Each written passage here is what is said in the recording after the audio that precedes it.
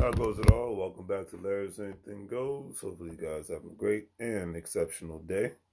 Another week, another Tuesday. So let's keep the momentum going and things of that nature. Today's word of the day is deception. Now, before I even read about the specific um, definition of deception, my home, day, my home state of Virginia, you have a um, governor's race happening right now, and for the first time ever, I could say I I don't see anything that's on the table for me, so that's why I'm not really worried about it.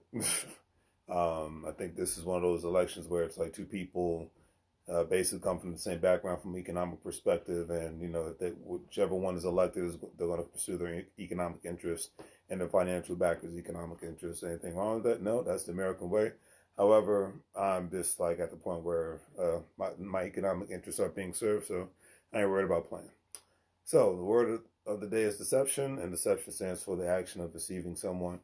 And I think a lot of times it comes boils down to politics. They've done a great job in deceiving people, uh, no matter what side that they fall on. And if even it's funny, like when the, the commercials I hear today sounds like the commercials I used to hear ten years ago. And it's like because we live in a digital age now, it's so easy to pick. You know, it's like back in the seventies and sixties, it was harder to harder to pull up old um, campaign ads and whatnot that were on the radio or that were on television and whatnot, unless you actually had a um, physical copy of the of the ad and things of that nature. But in the digital world, you can usually just put, pull it up somewhere on the on the internet, and it's going to show up. And it's like, okay, well, if you really listen to it, it all sounds the same at the end of the day. So it's it's a deception that um that you get to see, and it's just like I said, just very interesting at the same time on both sides of the the house. But um, I'm not like I said, I don't care if you vote, you do vote, who you vote for, don't care. It doesn't affect my pocket, but I don't need to get crazy. I don't need to care about it. But um, today's quote of the day is from Tim uh, Notke, and he stated, "Hard work beats talent when talent doesn't work hard." I couldn't agree with that statement more. Great example.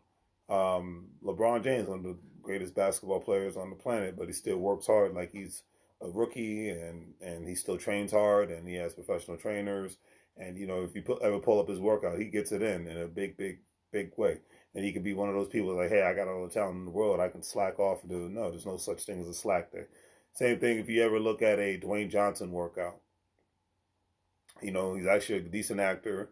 Um, but he works at his craft. Um, always been in great shape, and you know he could be like, "Hey, I've been the, I've been Dwayne Johnson and The Rock for twenty some odd years, and um, it doesn't. I, you know, I, am not no pun intended, but it doesn't matter what I do, uh, and I could just you know become a slob and blah blah blah. But no, he actually takes his physique um, seriously, not just for you know getting roles and whatnot in Hollywood, but he wants to be in the best shape possible because he knows with that it, it gives him a greater chance of living a longer life and whatnot. And you know, putting that hard work in works wonders.